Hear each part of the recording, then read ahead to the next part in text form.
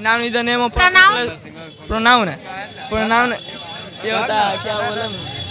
Pronoun क्या होता है? अब हम क्या बताए पढ़े नहीं किए हैं तो। इंग्लिश में हम पढ़े नहीं किए हैं। हाँ?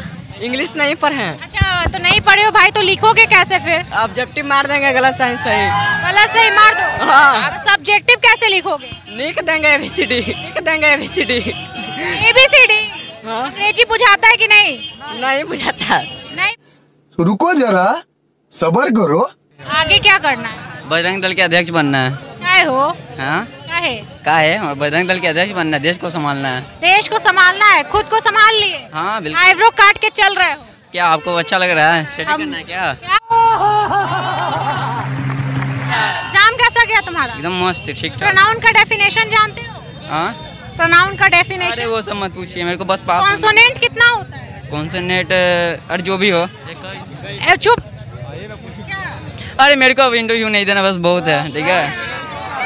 वॉवेल वॉवेल वॉवेल बता हाँ? वॉवेल बता। वोवेल तीन हाँ? तीन। तीन। कौन कौन सा है नॉन प्रोनाउन यही सब लंदपन है और क्या? मज़ा आया।